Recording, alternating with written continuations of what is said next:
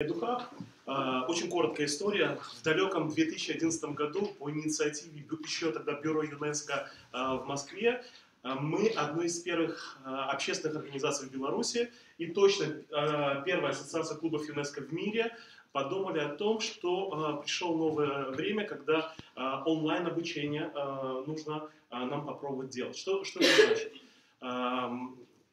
Я не помню, по-моему, мы уже говорили о том, что сейчас информация или знания, они рыночную стоимость имеют сколько? Ноль. Почему? Доступно. Гаджет. Вот у вас есть гаджет. Вы по любому вопросу сейчас можете найти на раз, два, три э, ответ. Э, но нечто большее разбираться в каком-то вопросе, системно разбираться в вопросе, это гораздо сложнее. И поэтому мы э, внедрили не просто дистанционное обучение, а дистанционное обучение тогда в далеком 2011 году, которое также помогает специалистам, у нас акцент был на специалистов, э, такую долгосрочную работу с ними. Не только дать знания, но и сопровождать их в процессе внедрения. И в 2014 году, это три года назад, из портала просто у нас превратился благодаря поддержке детского фонда ЮНИСЕФ. Мы создали EduHub и начали работать не только для Беларуси, но и для всех стран, кто понимает на русском языке. Восточная Европа, Центральная Азия. И мы предложили то, что, к сожалению, по ряду причин ну, не так доступно. Первое – обучение для специалистов в области профилактики. У нас есть э, курс, например, менеджмент профилактических программ, направленных на подростков и молодежь. Как делать в 21 веке такие профилактические программы, которые аудитория, на которую направлена, ну, возьмет на ура. Сразу скажу по секрету, а, этот курс основан на теории поколений что есть, помните, Y, поколение Y, поколение Z, и по-разному мы можем с ними работать. Есть отличный курс по профилактике, э, с одной стороны, насилия в школе, вот то, что мы иногда говорим, буллинг, и создание в школе э, благоприятной среды. Этот курс вот в свое время э, создан год назад на основе регионального пособия ЮНЕСКО по предотвращению насилия в образовательных учреждениях. И еще один курс для родителей, подростков, которым очень трудно смириться, что их маленькие дети вдруг стали большими детьми и потерялся этот контакт. Есть курс для, э, называется «Эффективное общение с э, родителями, с детьми подросткового возраста». Это вот чем занимается Эдуха. Вы знаете, мы... Я очень люблю подход снизу. Не сверху. Можно, например, вспомнить, что есть Мингур исполком, и по дружбе попросить отправить письма. Это хороший вариант. Но в этом мы, э, поскольку это было тестирование, мы не знали, сработает или нет, э, мы направили анонс по всем своим рассылкам для специалистов из учреждений образования, здравоохранения, социальной защиты населения, общественных организаций и сказали, дорогие коллеги, если вы хотите, я к вам приеду. И вы знаете, э, нашлось 50 таких коллег, одна из которых госпожа Юля тут сидит. Мы буквально через час, если имеете возможность, можете с нами поехать. Механико-технический, правильно сказал? Технологический колледж Минска. Это наш последний 50-й цикл. Почему цикл, а не занятие? Потому что все мы прекрасно знаем. Ну, во-первых, вода камень точит. С другой стороны, нам важно отслеживать прогресс, который у наших подростков будет по этой теме. Мы же все знаем пирамиду обучения. Вначале изменение в информировании, потом изменение отношений какой-то проблемы, только потом изменение ценностей. И, возможно, произойдет изменение, то, чего мы так хотим, поведения. Мы отправили анонс и Благодаря Институту ЮНЕСКО а, по информационным технологиям в этом году у меня было очень много путешествий. Это вот те города, 12 а, городов Беларуси, а, которые пригласили нас, Белорусскую ассоциацию клубов ЮНЕСКО, с этим курсом. 12 городов и 20 циклов прошло на базе Центра инноваций и партнерства, который работает при поддержке ЮНИСЕФ на базе Зубренка. А что это значит? Это значит вся страна потому что в Зубренке у нас э, учатся, отдыхают, ну, то есть подростки с их стороны. Это охват этого года. Тысяча подростков примерно, плюс-минус, мы вот еще не считали, потому что сегодня 50-й курс у нас, завтра в железнодорожном колледже 51-й, э, потом 52-й в офисе, э, в Белорусской стации, и вот будем заканчивать. Примерно так они проходят, неформально, Это тот вклад, э, который мы готовы подарить э, вам, коллегам из формальной системы образования, неформально, в круге обязательно, спокойно, не спеша. Желательно, конечно, в свободное время. К сожалению, не всегда получилось. Иногда э, ну, наши коллеги, которые приглашали, это делались в рамках классных часов. Иногда это делалось в рамках каких-то спецкурсов. Каждое учреждение, куда мы ездили, ну, по-своему подходило. Зубленок. Красивый, да, фотография? Жлобин, Лоев. Знаете, где находится Лоев? Река, и через реку уже Украина. То есть это, это край белорусской географии. А, Борисов, ну, очень много городов. Самое важное, как этот курс работает. Вот сейчас я объясню и расскажу про пять инновационных, как мне кажется, ну, подходов скорее, это не совсем методы, подходы, которые мы испробовали и по прошествии 50 групп, а это очень много, я считаю, то есть я 50 раз одно и то же, ну, шучу, такого не было, ни один курс не повторится, сейчас поймете почему. Мы опробировали и знаем, что работает, а что э, не работает. С чего мы начинали? Где этот слайд? Давайте мы найдем, где вот у нас находится, ну, давайте с тем. Начало курса. Первый принцип, который в неформальном образовании, без которого ничего другого не работает, это добровольность участия. Как это обеспечить? Как вы думаете? Информирую. Сейчас будем попробуем на Казинцан сейчас. Это мы говорим, э, когда я прихожу, э, дорогие взрослые, у вас есть выбор. Мы можем сейчас начинать работать вместе – или вы можете делать в колледже, или там в школе, или э, что-то другое. И останьтесь, пожалуйста, те, которые хотят ближайшие 2-3 часа посвятить вот этому курсу. Почему 2-3 часа? Первое занятие обычно дольше, для того, чтобы их вовлечь в эту тему. Остаются тем, несколько иногда уходит, иногда никто не уходит, неважно. И затем у нас в этом курсе 7 тем. Как вы думаете, с какой темы мы начинаем? Я сейчас про эти темы расскажу. Но в, таком большом курсе, где мы говорим про жизненные навыки, курс мы назвали, кстати, э, первый э, метод, который мы используем, подход, это скрытая профилактика. Никогда не говорил слова «мы сейчас занимаемся профилактикой курения», хотя этот вопрос был.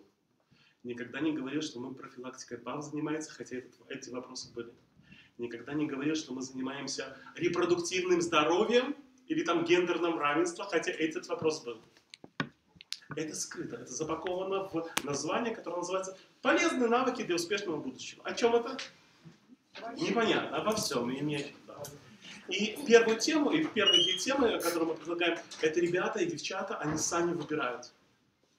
Им предлагается веер тем, и это тоже, ну, потому что была ну, такая попытка и работать с темой лидерства, принятия решений, ведь часто у них вообще не спрашивают, а чего вы хотите сами. И иногда э, э, этот вопрос это очень сложно. И они выбирают тему, которую хотят, с которой начать. Вторая, ну, первая скрытая профилактика. Вторая, в мире это целый бум. Хотите сделать карьеру в андрогогике, педагогике, идите в это направление. Blended learning или смешанное обучение. Когда офлайн в аудитории мы занимаемся только тем, что невозможно. Можно ваш телефон? Здесь? Или в компьютере? Если я могу это же получить тут, мы в аудитории этим не занимаемся вообще. И тогда получается в аудитории мы занимаемся чем? Дискуссии, ролевые игры, там чего-то еще другого. А все остальное, курс продолжается 12 академических часов, но может быть чуть больше, они делают на нашей платформе дистанционного обучения, проходят темы, которые они на первом занятии не выбрали. Третий метод, сейчас я расскажу про конкретные темы, это геймификация. Геймификация, что такое? Это, э, это не ролевые игры в обучении, ни в коем случае. Геймификация – это использование, э, э, как вы понимаете? Игровые методы. Угу. В неигровых ситуациях. Да что не делать. Моя задача, чтобы госпоже Шукан или к партнерам госпожи Лукашковой на ypir.by, они повалили сами. И тогда мы говорим, ребята, мы играем, ну, мы игру не употребляем. А, Кто из вас хотел бы быть в роли тайного клиента? Понимаете, о чем идет речь? И тогда мы иногда прямо на занятии звоним, я у них спрашиваю, трудно на душе, болит что-то? Сердце имею в. Куда мне обратиться? Иногда прямо на занятии мы звоним в эти экстренные службы и смотрим, как с нами общаются.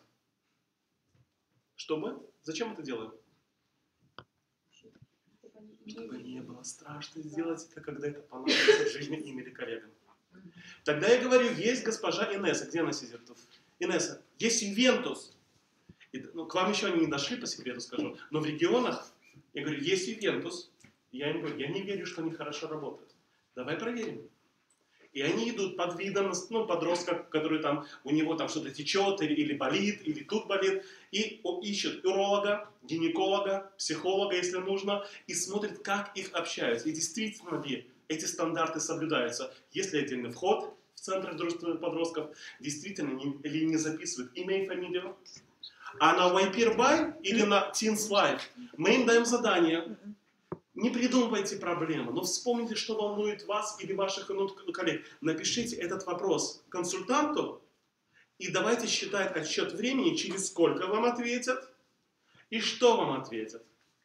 Потом, правда, госпожа Валентина ругается, что там мне много, а, много обращений, но я потом уже объясняю, откуда это берется. И вы знаете, а, статистика показывает, Sins Life, например, где а, международные наши специалисты работают, гинеколог, там есть психолог, я не помню, есть ли уролог, ответ пришел, как вы думаете, через сколько? Не, не сразу. Там не онлайн, там через электронную почту, на следующий день. Потому что у нас иногда второе занятие проходит на следующий день, но когда выезды, чтобы туда несколько раз не ездит, два дня подряд. Это значит о том, что сервис работает. То есть я э, уже рассказал про что? Про скрытую профилактику. Про что еще? Геймификацию. Геймификацию нужно. И что за темы? Что упаковано под этой шапкой жизненной науки? И в каждой теме есть ролики научпока.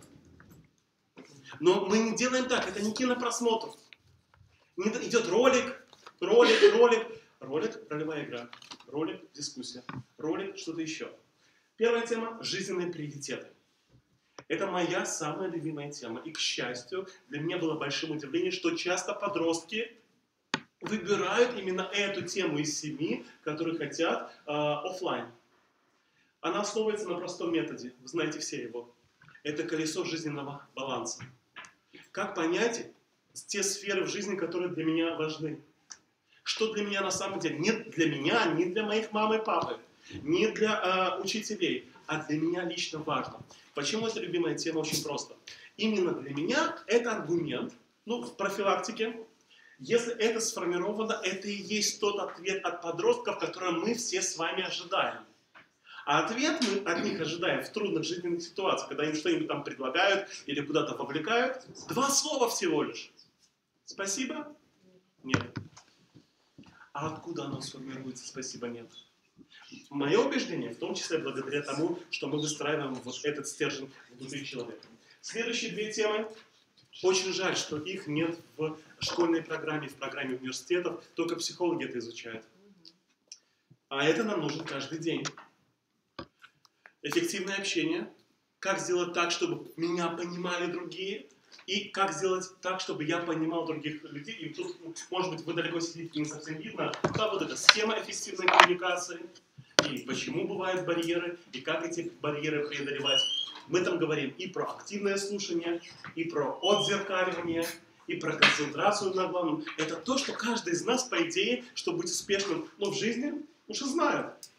Но подростки это не получают на школьных курсах, к сожалению. И это шанс спасить этот круг, немножко им дать.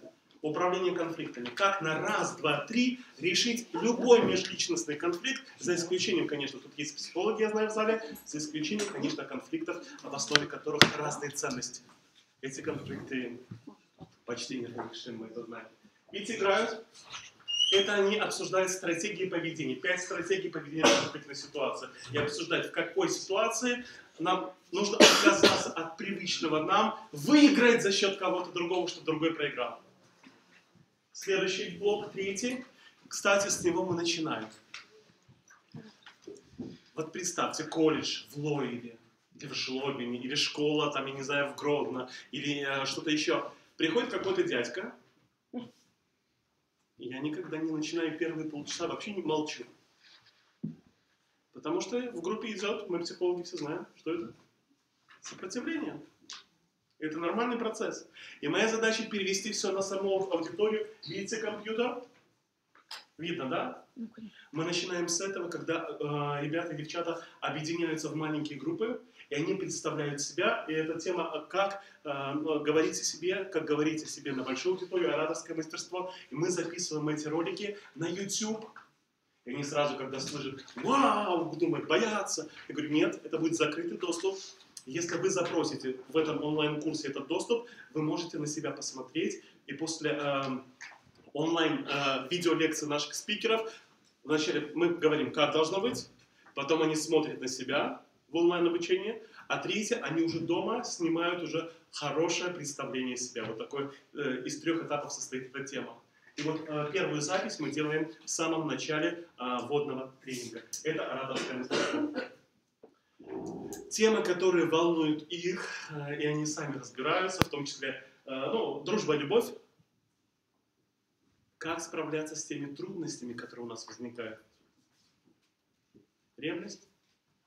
Что еще? Какие трудности бывают в любви и дружбе? Что-что? Безответные, да? Что еще? А у кого-то нет друзей, друзей да, где их найти? Предательство. Мгм, Что еще? И не я даю ответ, что делать, а они сами ищут эти ответы. Вот, к примеру, что они вот, э, как подготовиться к первому свиданию мальчику и девочки. У меня было большим откровением, я просто об этом давным-давно забыл. А, благодаря нашим подросткам э, вспомнил. А, На одной конференции ЮНЕСКО было озвучено, что на самом деле в современном образовании педагоги и андрогоги могут делать акцент только на двух методах обучения. Первый метод, как вы думаете, что? Исследование, исследовательская работа. То есть не говорить готовые ответы, бесполезно, мимо, а сказать им ищите сами. И давайте посмотрим, что вы нашли. И второе это проектная работа. Ну, проектная работа реализуется, например, в виде тайного клиента и там все такое, то есть когда они, они идут чего-то делают.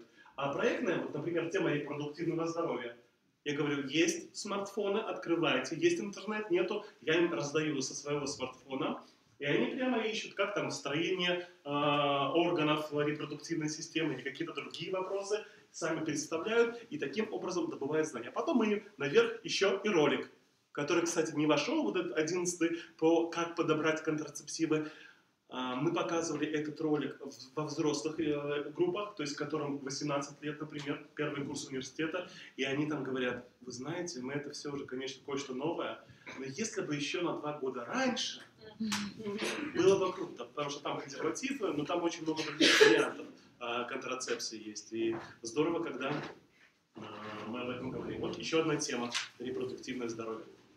Вот получается, что каждый из нас, кто работает с подростками, вот есть же готовая у нас как-то инфраструктура, я имею в виду, что классные часы или какие-то предметы, в которые мы можем просто использовать какие-то части из этих роликов или из этих тем и делать нашу работу просто еще лучше, чем она есть сейчас. И поскольку э, для меня было большое удивление, по большому счету мы ничего нового не делаем. Ну, обучение, обучение, ролики и ролики. Но вы знаете, когда я потом случайно, у вас не настроено на гугле упоминание вас, имя, если где-то выходит, вам приходит уведомление, нет? И что вы думаете? Пок- Покатался я по стране. Приходит уведомление. Для самих учреждений, которые приглашал, это было очень ценно. Они публикуют это, на сайтах уже, вносят какие-то предложения, что а, они хотят продолжить эту работу. И я хочу вам заявить, что сейчас как раз то самое лучшее время, конец года, и мы можем с вами, теми, кто присутствует, на- планировать 2018 год. Мы открыты на сотрудничество, особенно в Минске это э, намного проще, не нужно никуда ехать, да, не нужен транспорт, не нужна гостиница, не нужно ам, Не, кушать надо. Но не так много, когда мы выезжаем. Поэтому, если есть из присутствующих кто-то, кто хотел бы эту же работу взять, мы с удовольствием передадим вам технологию. Безвозмездно. Спасибо большое. Может быть, есть вопросы? до конца, теперь очень